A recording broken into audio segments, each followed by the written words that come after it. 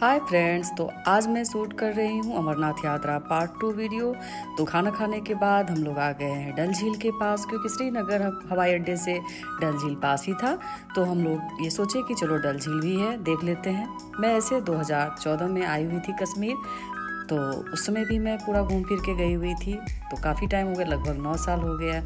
उसके बाद जब मैं गई थी तो कुछ चेंज तो लग रहा था बट मुझे अभी जो मैं देखी हूँ, इससे पहले का जो कश्मीर था, वो मुझे ज़्यादा पसंद आया था।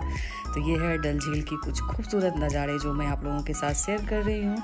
और डल झील से फिर हम लोग चले गए पड़ी महल वो भी पास ही था तो अपनी गाड़ी थी तो पड़ी महल जा कर के देखिए, महल जैसी तो कोई बातें लगी नहीं मुझे उसमें। बस खंडर जैसा कुछ था और पार्क बना हुआ था तो लोग वहाँ जो है फ़ोटो वगैरह करवा रहे थे इंजॉय कर रहे थे। अच्छी जगह थी ग्रीनरी थी, हरियाली थी फ्लावर्स थे। तो ये खंडर जैसी दीवारें थी जो आप देख ही रहे हैं। कुछ लोग कश्मीरी ड्रेस में अपनी अपनी फ़ोटो भी उतरवा रहे थे। बहुत खूबसूरत सी जगह थी।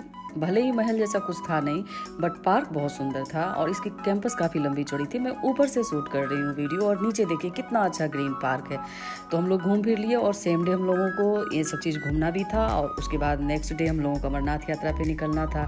तो उसके लिए रजिस्ट्रेशन करवाने के लिए भी जाना था। तो हम लोग फटाफट यहाँ से देख करके रजिस्ट्रेशन के लिए निकल गए। वीडियो काफ़ी लंबी हो गई है तो पार्ट थर्ड में मैं आप लोगों को नेक्स्ट डे का वीडियो शेयर करूँगी। Bye bye take care